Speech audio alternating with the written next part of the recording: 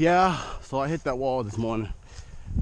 One miles in, my back started bothering me, and so I slowed down my pace. Um, I am recovering from a knee injury. Somehow I tweaked the, the shiceness out of my knee. Don't know how I did it, but I did. I'm still walking, so I'm still timing myself. I'm not trying to give up, give myself the necessary break needed to complete this two mile run. So, it ain't easy. If it was, everyone would be able to do it. New Year's resolution sucks. All right, let's get back at it.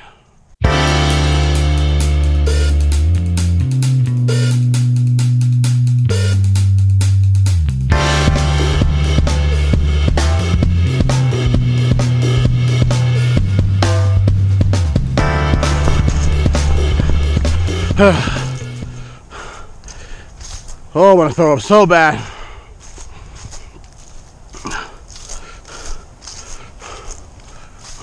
Trying to keep my lunch down.